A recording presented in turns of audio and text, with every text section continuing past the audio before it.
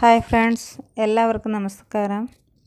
ഇന്ന് ഞാൻ ഒരു പഴുത്ത മാങ്ങ കൊണ്ട് എങ്ങനെ ഒരു ചപ്പാത്തി ഉണ്ടാക്കാമെന്നാണ് നിങ്ങൾക്ക് കാണിച്ചു തരാൻ പോകുന്നത്. അപ്പോൾ അത് ഉണ്ടാക്കാനായിട്ട് എന്തൊക്കെയാണ് വേണ്ടതെന്ന് നമുക്ക് നോക്കാം. അതിന് വേണ്ടിയിട്ട് ഞാനിപ്പോൾ ഒരു ഗ്ലാസ് ആട്ട എടുത്തിട്ടുണ്ട്.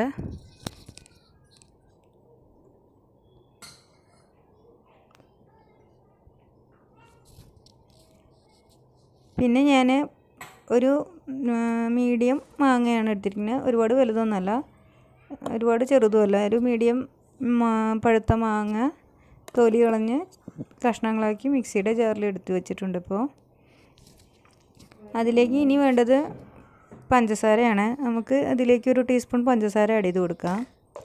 പിന്നെ ഒരു കാൽ ടീസ്പൂൺ ഉപ്പ് കൂടി ചേർത്ത് കൊടുക്കാം. ഇനി ഇത് ഇതുപോലെ തന്നെ അരച്ചെടുക്കണം. ഇതിലേക്ക് വെള്ളം വെള്ളമോ മറ്റോ ഒന്നും ചേർത്ത് കൊടുക്കേണ്ടതില്ല. ഇത് തനിയെ അരച്ചെടുക്കേണ്ടതാണ്. അപ്പോൾ ഞാൻ ഇത് അരച്ച് കൊടുത്തിട്ടുണ്ട്. നമുക്ക് ഇതിലേക്ക് ആഡ് ചെയ്ത് കൊടുക്കാം. ഇപ്പോൾ ഞാൻ അരച്ച് വെച്ച മാങ്ങ ഇതിലേക്ക് ആഡ് ചെയ്ത് കൊടുത്തു. ഇനി ഞാനൊരു അര ടീസ്പൂൺ എണ്ണ കൂടി ഇതിലേക്ക് ചേർത്ത് കൊടുത്തു. അത് എന്തിനാന്ന് വെച്ച് കഴിഞ്ഞാൽ ഒരു നമുക്ക് ഈ മാവ് കുഴച്ചെടുക്കുമ്പോൾ നന്നായിട്ടൊരു മയം കിട്ടാൻ വേണ്ടിയിട്ടാണ് എണ്ണ ചേർക്കുന്നത്. എണ്ണയോ അല്ലെങ്കിൽ നിങ്ങളുടെ കയ്യിൽ നെയ്യ് ഉണ്ടെങ്കിൽ നെയ്യ് ചേർത്താലും മതിയാവും. ഇനി നമുക്കിത് നന്നായിട്ടൊന്ന് മിക്സ് ചെയ്ത് നന്നായി കുഴച്ച് കൊടുക്കുക. കൈ വെച്ചിട്ട് തന്നെ കുഴക്കണം. ഞാൻ ആദ്യക്ക് സ്പൂൺ വെച്ച് ജസ്റ്റ് ഒന്ന് ഇളക്കി മിക്സ് ചെയ്തു എന്നേ ഉള്ളൂ. കൈ വെച്ച് കുഴച്ചാൽ തന്നെയാണ് ഇത് ശരിയാവുകയുള്ളൂ.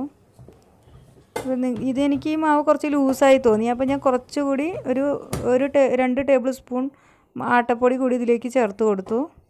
എനിക്ക് മാവ് കുറച്ച് കമ്മിയായതുപോലെ തോന്നിയതുകൊണ്ടാണ്. ഇപ്പോൾ ഞാൻ ശരിക്കും കുഴച്ചെടുത്തിട്ടുണ്ട്.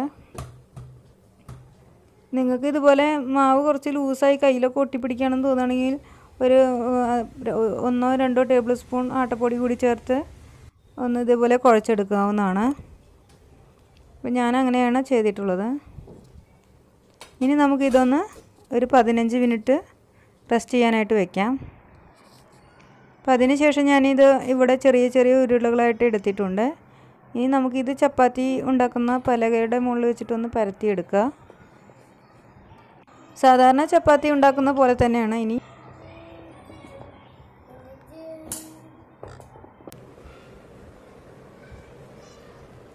ഞാനിപ്പോൾ ഇത് പരത്തിയിട്ട് ചുട്ടെടുക്കാൻ പോവാണ്. പരത്തി വെച്ചിട്ടുണ്ട് ഞാൻ ഒരെണ്ണം. ഇതൊന്ന് നമുക്ക് ചുട്ടെടുക്കാം.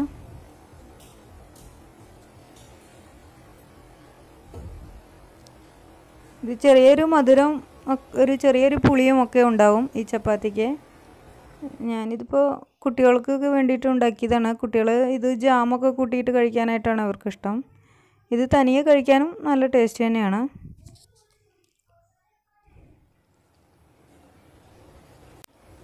ഇത് മധുരം നിങ്ങൾക്ക് കുറച്ച് കൂടുതൽ വേണമെന്നുണ്ടെങ്കിൽ ചേർക്കാവുന്നതാണ്. ഞാനിപ്പോൾ ഒരു ടീസ്പൂൺ മാത്രമേ ചേർത്തിട്ടുള്ളൂ.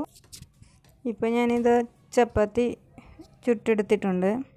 ഞാൻ ചപ്പാത്തി ചുടുന്നത് എങ്ങനെയെന്ന് വെച്ചാൽ എല്ലാവരും സ്റ്റവിന്റെ മുകളിൽ വെച്ചിട്ട് പൊളച്ചെടുക്കുകയാണ് ചെയ്യാറ്. ഞാനിപ്പോൾ അങ്ങനെയല്ല ചട്ടിയുടെ മുകളിൽ തന്നെ ചപ്പാത്തിയുടെ മേലെ പ്രസ് ഒന്ന് ചെറുതായിട്ടൊന്ന് പ്രസ് ചെയ്ത് കൊടുത്താൽ തന്നെ എനിക്ക് പൊളച്ച് വരാറുണ്ട്. അപ്പോൾ അങ്ങനെയാണ് ഞാൻ ചപ്പാത്തി ചുട്ടെടുക്കാറ്. ചപ്പാത്തി കാണാൻ തന്നെ ഒരു ഭംഗിയൊക്കെ ഉണ്ട്. ഒരു മഞ്ഞ കളറും കഴിക്കാനും നല്ല ടേസ്റ്റ് തന്നെയാണ്. ഒരു വെറൈറ്റി ഒരു ചപ്പാത്തി ആണ് ഇത്. നിങ്ങൾ ഇതുപോലെയൊക്കെ ഒന്ന് ഉണ്ടാക്കി നോക്കൂ. നിങ്ങൾക്ക് ഇഷ്ടപ്പെടുകയാണെങ്കിൽ ലൈക്ക് ചെയ്യാനും ഷെയർ ചെയ്യാനും അതുപോലെ തന്നെ കമന്റ് ചെയ്യാനും മറക്കരുത്. എന്റെ ഈ ചാനൽ ആരെങ്കിലും ഇതുവരെയും സബ്സ്ക്രൈബ് ചെയ്തിട്ടില്ലെങ്കിൽ സബ്സ്ക്രൈബ് ക്ലിക്ക് ചെയ്ത് അടുത്തുള്ള ബെൽ ബട്ടണിൽ കൂടി ഒന്ന് പ്രസ് ചെയ്തേക്കൂ. അപ്പോൾ മാംഗോ ചപ്പാത്തി റെഡിയായി കഴിഞ്ഞു ഇത് നല്ല സോഫ്റ്റാണ് നല്ല തൊടുമ്പോൾ തന്നെ അറിയാം. നല്ല സോഫ്റ്റായിട്ട് ഇരിക്കുന്നുണ്ട്. ഇതിന്റെ മുകളിൽ കൂടെ ഞാൻ കുറച്ച് ബട്ടർ കൂടി തേച്ച് കൊടുത്തിട്ടുണ്ട്. എല്ലാവർക്കും എന്റെ വീഡിയോ ഇഷ്ടമായി എന്ന് വിശ്വസിക്കുന്നു. Thank you for watching